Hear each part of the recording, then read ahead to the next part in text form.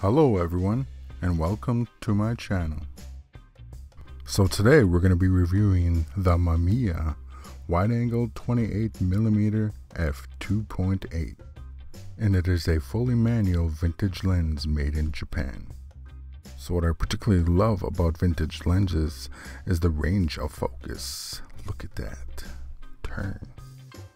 So I haven't had the time to really work with this lens, but you can see by the the, the, the footage that I have recorded that it, it, works nice. It looks nice.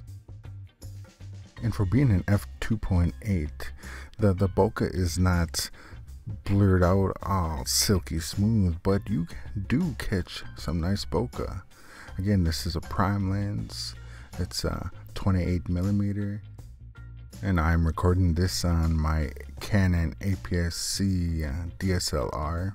Here's some footage of me working with it in low light and as you can see it's still fairly sharp and produces a pretty picture.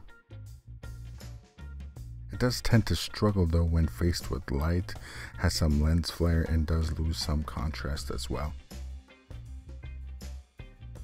So I took this image here so you can look at and see how sharp it is, zoom it in, and you can see that it holds up pretty well and with its sharpness move over to the corner and you can see that it does have some vignetting but overall it is pretty pretty sharp.